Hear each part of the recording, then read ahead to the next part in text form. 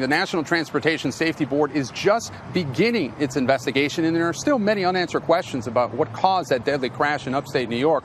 Around the country, regular vehicles are heavily regulated, but stretch limos are not.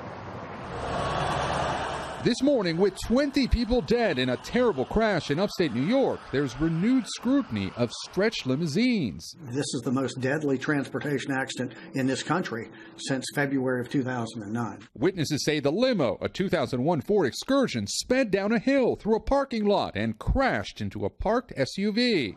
Two pedestrians in the parking lot and all 18 adults in the limo, including the driver, were killed. The front seat passengers and the driver would be required to wear a seatbelt. Uh, the passengers in the back would not.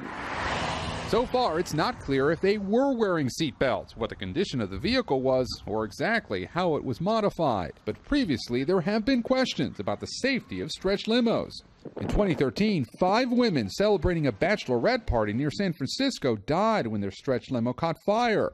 In the summer of 2015, four women on a Long Island winery tour were killed when their Lincoln Town car crashed. In that case, the limo had been cut apart and rebuilt to accommodate more passengers. A grand jury later found that converted stretch limos often don't have security measures, including side impact airbags, rollover protection bars, and accessible emergency exits. The reality is, when these vehicles are changed after market and this stretching occurs, it does change the engineered design of the vehicle. Fatal limo crashes are relatively rare. There were two deadly ones in 2016. That's down from 2015 when there were seven.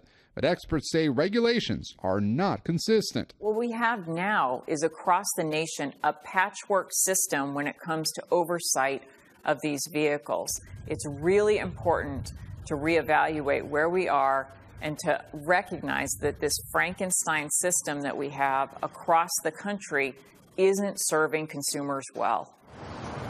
Gabe, are any any states taking steps to protect people who are riding in these limos? Well, well, actually, Craig, this year in California, a limo retrofit law went into effect requiring more accessible emergency ex exits.